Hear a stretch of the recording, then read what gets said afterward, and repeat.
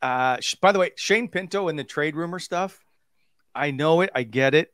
I don't see any scenario playing out where Shane Pinto is traded. Not there's not one that I see as a scenario. I can't.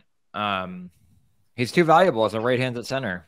He's just too valuable as a position at 22 years old with his best years ahead of him, and and I mean for a third line, I mean he put up 21 goals. You know that's or 20 was it 21 that he scored? Mm-hmm. Yeah, at He's- least I mean, 20. It's 21. Man, he's- he uh Yeah. but he's like you as you guys understand, you need to be deep down the middle in order to be a strong playoff team. You've got to go one, two, three down the middle. You do. And- And Ottawa's got that ability right now. So another year of seasoning with these guys, and they are a legitimate contender with those three guys at center.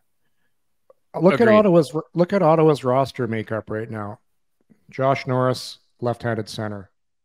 Um, Stützle, left-handed center. Kastelic. Uh, what's Casti? Is he right or He's a left? righty. Why am I- He's a righty, but he's he's more of he's your fourth line. You pencil him in for your fourth line.